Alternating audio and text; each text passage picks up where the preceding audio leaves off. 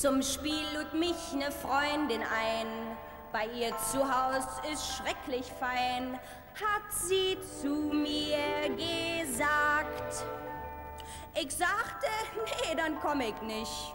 Das Richtige ist das nicht für mich. Warum hat sie mich da erstaunt gefragt?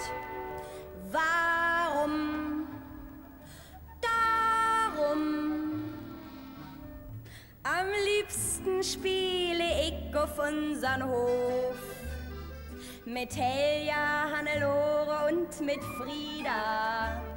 Und an die Hauswand schreibe ich, du bist doof. Krieg ich auch Keile, ich tu's immer wieder.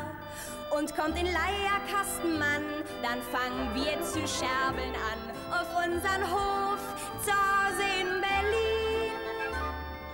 Den Dreck, den nehme ich gerne mit in Kof.